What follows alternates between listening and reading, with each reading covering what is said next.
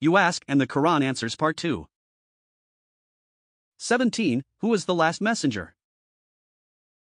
Muhammad is not the father of any of your men, so he is not the father of Zayd, therefore his marrying his wife is not impermissible for him when Zayd divorces her. However, he is the messenger of Allah sent to the people and the seal of the prophets, there is no prophet to come after him. Allah is the knower of everything, nothing is hidden from him from the affairs servants. Al-Ahzab 40. 18. To whom did Allah send the last messenger Prophet Muhammad? And I did not send you, O Messenger, except for the sake of all of mankind, to give good news to the pious that for them is paradise, and to warn the disbelievers and transgressors of the fire. But most people do not know that. Had they known, they would not have denied you.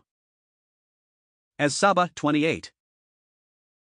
O Muhammad, have not sent you as a messenger, except as a merciful one to the whole of creation. This is because you are distinguished with aspiring for the guidance of all people and their safety from the punishment of Allah. Al Anbiya 107. O humankind, any good that pleases you, such as wealth or children, is from Allah. He has sent it to you through His grace. Whatever bad occurs to you in respect of your wealth or children is from your own self because of the sins you commit. I have sent you, O Prophet, as a messenger to all people to communicate to them the message of your Lord. Allah is enough of a witness to the truth of what you communicate from Him, because of the evidences and proof He has given you. An-Nisa 709. Blessed is Allah who revealed the Quran as a standard distinguishing between truth and falsehood unto His servant and messenger Muhammad peace be upon him. So that he could be a messenger towards the humans and the jinn, and a warner to them of the punishment of Allah. Al Furqan 1. Allah tells the Prophet, peace be upon him, to inform people that he is the messenger of Allah to them all, both Arabs and non Arabs. Allah alone controls the heavens and the earth. There is nothing worthy of worship other than him, glory be to him. He brings the dead to life, and causes what is alive to die. People should have faith in Allah and in Muhammad, peace be upon him, the Prophet, his messenger, who cannot read or write, and who came only with what his Lord revealed to him. In order to guide them to what is good for them in this world and in the afterlife. Al-A'raf, 7158. 19. What did Allah prepare for those among the Jews and Christians who believe? O those who have faith in Allah and act upon whatever He has legislated for them. In Musa, Moses, i.e., Jews, and Isa, Jesus, i.e., Christians. Be mindful of Allah by fulfilling His commands and refraining from the things He has not allowed. He will give you double the reward for your bringing faith in Muhammad, peace be upon him, and in the previous messengers. He will also create for you a light through which you will be guided in your worldly life and which you shall use on the bridge on the day of judgment. He will also forgive your sins and not take you to account for them. And Allah is the bestower of great favors to his servants, no limiter can limit his favor, nor can anyone count it. Al Hadid, 57, 28. Those who have faith from the nation of Muhammad, peace be upon him, and from the communities who came before him, from the Jews. The Christians and Sabians, said to be a group who followed prophets who were of the faith of Abraham, peace be upon him, will have their reward with their Lord. They will not fear what awaits them in the afterlife, nor grieve over what happened to them on earth. This was the case before the Prophet Muhammad, peace be upon him, was sent. Now his message of Islam, devotion and dedication to Allah is the only way of life accepted by Allah, as he said, whoever seeks a path other than Islam. It will not be accepted from him, Surah Al-Imran, 85. Al Baqarah 62. The believers in Muhammad and the Jews.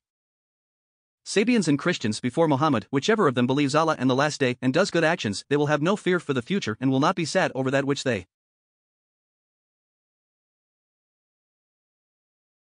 missed in the worldly life. Al Ma'idah 69. In order to understand these ayat correctly, we need to refer to the scholars of tafsir, Quranic commentary. The great Imam Ismail ibn Kathir, may Allah have mercy on him, said in his tafsir of the ayah from Surah al-Baqarah. Allah, may He be exalted, points out that whoever of the previous nations did well and was obedient, will have a good reward. And this will be the case for everyone who follows the unlettered Prophet, Prophet Muhammad, peace and blessings of Allah be upon him, until the hour comes, he will have eternal happiness. And they will not fear what they are going to face, nor will they grieve for what they have left behind. As Allah says, interpretation of the meaning no doubt. Verily, the Auliya of Allah, I, those who believe in the oneness of Allah and fear Allah much, and love Allah much, no fear shall come upon them nor shall they grieve. Yunus 10 hours 62 minutes. And Allah tells us what the angels say to the believers at the time of death, interpretation of the meaning. Verily, those who say, Our Lord is Allah, then they istikamu, stood straight, i.e., truly followed Islam, on them the angels will descend, at the time of their death, saying, Fear not, nor grieve. But receive the glad tidings of paradise which you have been promised. Fussilat 41 30. As far as the Jews are concerning, their faith meant believing in the Torah, original Torah, and following the way of Musa, peace be upon him, until Isa came. After which, whoever continued to follow the Torah and the way of Musa, and did not leave this and follow Isa, was doomed. As far as the Christians are concerned, their faith meant believing in the Injil, original gospel, and following the laws of Isa. Whoever did this was a believer whose faith was acceptable to Allah, until Muhammad, peace and blessings of Allah be upon him, came. After which, whoever did not follow Muhammad, peace and blessings of Allah be upon him, and leave the way of Isa and the Injil that he had been following before, was doomed. The ayah, interpretation of the meaning, and whoever seeks a religion other than Islam, it will never be accepted of him, and in the hereafter he will be one of the losers. Al Imran 3. 85 is a statement that Allah will not accept any way or deed from anyone after sending his final messenger except those that are in accordance with the laws of Muhammad, peace and blessings of Allah be upon him. Prior to this, however, anyone who followed the Prophet of his own time was on the straight path of salvation. So the Jews were those who followed Musa, peace be upon him, and referred to the Torah for judgment at that time. When Allah sent Isa, peace be upon him, the children of Israel were obliged to follow him and obey him. And so they and others who followed him became Christians. When Allah sent Muhammad, peace and blessings of Allah be upon him, as the final prophet and a messenger to all the children of Adam. All of mankind was obliged to believe in him and obey him, and refrain from what he prohibited. Those who did so are the true believers. The Ummah, nation, of Muhammad, peace and blessings of Allah be upon him, are called the believers because of their deep iman, faith, and conviction. And because they believe in all the past prophets and in the prophesied events that are yet to come. Commenting on the ayah in Surah Al Baqarah, Ibn Kathir, may Allah have mercy on him, said, What is meant is that every group believed in Allah and the last day, which is the appointed day of reckoning, and did righteous deeds. But after Muhammad, peace and blessings of Allah be upon him, was sent to both mankind and the jinn. True belief can only be in accordance with the way of Muhammad, peace and blessings of Allah be upon him. Whoever follows his way will not fear the future or grieve for what they leave behind.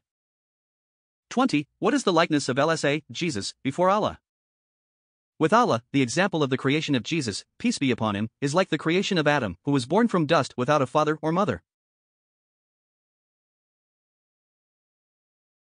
Allah simply said to him, Become a man. And he became as Allah willed. How do you then assume that Jesus is a God on the basis that he has no father when you accept that Adam is human despite his having no father or mother? Ali Imran 59. 21. What did Allah say about Mary? Remember, O Messenger, when the angel said to Mary, Peace be upon her, Allah has chosen you because of the praiseworthy qualities you have. He has purified you from all defects and chosen you over all the other women of your time. O Mary, stand for long periods in prayer, prostrate to your Lord and bow down with his righteous servants who bow down to him. The story of Zechariah and Mary is one of the reports of the Ghaib, which I reveal to you, O messenger. You were not there with those scholars and worshippers when they argued about who was most entitled to raise Mary. They eventually decided to draw lots by throwing their pens, and the pen of Zechariah, peace be upon him, won. Remember, O messenger, when the angel said, O Mary, Allah gives you good news of a child who will be created without a father merely by a word from Allah, such as be, and he will become a child by Allah's will. The name of this child will be the Messiah, Jesus, son of Mary. He will have a high rank in this world and the afterlife, and he will be one of those who are made close to Allah. This child will miraculously speak to people when he is a small baby, as well as when he grows up and becomes a man. He will tell them what is best for them in their religious and worldly affairs. He will also be one of those who are righteous in their words and action. Mary was surprised that she was to have a child without a husband and said in astonishment, How can I have a child when no man has come near me in a lawful or unlawful way? The angel said to her, Just as Allah will create a child for you without a father, he creates whatever he wishes even though it may be out of the ordinary. When Allah wishes for something, he says be and it is. nothing can stop him doing as he wills. Ali Imran 42 47. 22. Was Jesus crucified and died on the cross? I curse them because they proudly, but falsely, said, We killed the Messiah, Jesus, son of Mary, the messenger of Allah. They did not kill him as they claimed, nor did they crucify him, but they killed and crucified a man whom Allah made to resemble Jesus, so they thought the person who was killed was Jesus. Those Jews who claim to have killed him and those Christians who surrendered him over to them are in doubt and confusion regarding the matter. They have no knowledge, but make guesses that are of no worth against the truth. Truly, they did not kill Jesus nor crucify him. Instead, Allah saved Jesus from their plot and raised him in body and spirit to himself. Allah is mighty in his dominion and nothing can overpower him. He is wise in his planning, decisions, and laws. An-Nisa 157 158. 23. Was Jesus the Son of God, Allah? Say, O Messenger, He is Allah who is alone in being a deity. There is no deity except Him. Say, He is Allah, who is, one. Alone, without another, indivisible with absolute and permanent unity and distinct from all else the one and only true deity, unique in his essence, attributes, and deeds. He is the master to whom belongs all sovereignty and perfect, beautiful qualities. The one to whom all creation turn to. Allah, the eternal refuge. He who is absolute, perfect, complete, essential, self sufficient, and sufficient to meet the needs of all creation. The one eternally and constantly required and sought, depended upon by all existence, and to whom all matters will ultimately return the one who did not give birth to anyone, nor did anyone give birth to him. So he has no offspring, may he be glorified, nor any parent. He neither begets nor is born. Nor does he have any equal from his creation. Nor is there to him any equivalent. Quran, Ikhlas, 112 1 4. The Jews, the Christians, and the idolaters, who worship others alongside Allah, said that Allah had taken a son.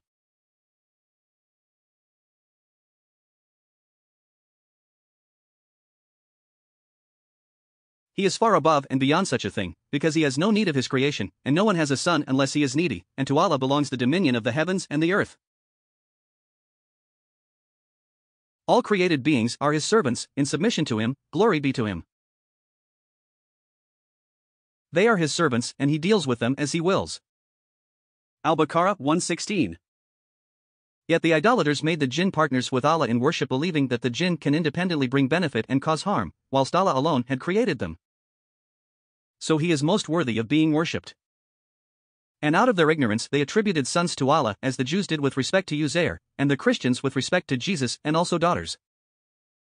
Allah is free and above what the people of falsehood claim about him. He, may he be glorified, is the creator of the heavens and the earth without any precedent. How can he have a child when he has no wife? He created everything and knows everything. Nothing is hidden from. Al-An'am 100 101. Say, O Messenger, all praise is for Allah who deserves all types of praise and who is exalted from having a child or a partner, thus he has no partner in his kingdom. And he is not afflicted by disgrace or weakness, hence he has no need for anyone to help and support him. So exalt him abundantly, and do not attribute any child or partner to him nor any helper or supporter. Al Isra 111. Allah has not taken a child as the disbelievers claim, nor is there any true deity alongside him. If there were to be any true deity alongside him, every deity would take his share of the creation he made and they would dominate one another, causing the order of the universe to become corrupt. The reality is that none of this has occurred, proving that the true deity is Allah alone. He is pure and holy of what the idolaters describe him with, namely partners and children which are unbefitting for him. Al Mu'minun 91. And the idolaters made blood ties between Allah and the angels when they claimed the angels are Allah's daughters and their mothers are the elite jinns. But the jinns already know Allah will bring them to be reckoned, so if there was lineage between him and them, he would not bring them for that. Pure is Allah and exalted from what the idolaters describe him with of that which does not befit him, such as children, partners, as Safat 158 159. O Messenger!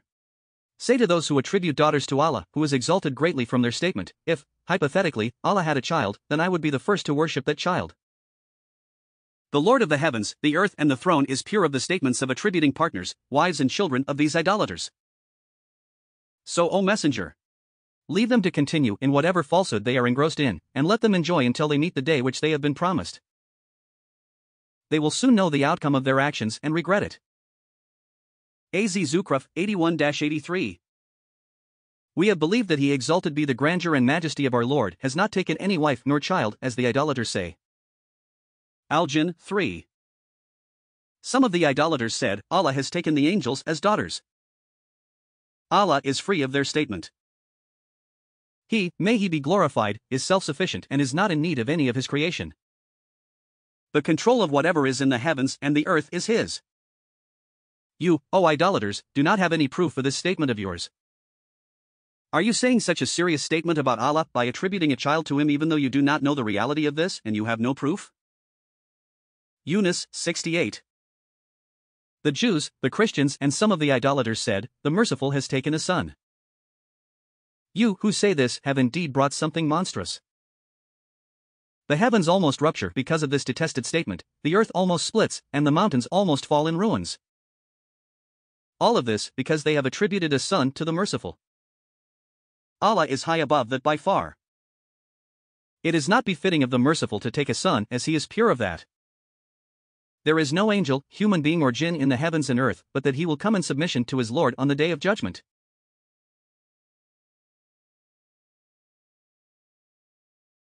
He has full knowledge of them and has numbered them exactly. Nothing of theirs is hidden from him. Each one of them will come to him on the day of judgment alone, without any helper or any wealth. Maryam 88 95. 24. How could you be secure? Those who believe in Allah follow His laws and did not pollute their faith with polytheism, they will be the ones who will be safe and secure. They are the ones to whom their Lord has shown the path of guidance. Al-An'am 82. On the day of judgment, whoever brings faith and good deeds will gain paradise and will be safe from the horrors of that day due to Allah granting them that safety. And whoever comes with disbelief and sins, for them will be the hellfire in which they will be thrown face first. It will be said to them by way of rebuke and humiliation Are you being requited except for the disbelief and the sins you used to commit? An Naml 89 90. The friends of Allah will not have any fear of the terrors to come on the day of rising, and they will not grieve over the pleasures of the world that they missed. The friends of Allah are those who possess the qualities of having faith in Allah and following His Messenger, they are mindful of Allah by fulfilling His instructions and avoiding His prohibitions. There is good news for these friends of Allah from their Lord, which will make them happy in the life of this world by means of good dreams and praise from people. They will also receive good news from the angels when they take away their souls. Allah's promise will never be broken. That reward is the great success because it entails the fulfillment of their desires and salvation from what they fear. Yunus 62 64. Indeed, those who say, Our Lord is Allah. We have no Lord besides Him, then they become firm on faith and good actions, there will be no fear on them in what they face in the hereafter. Nor will they grieve over the fortune of this world's which escaped them or what they left behind them.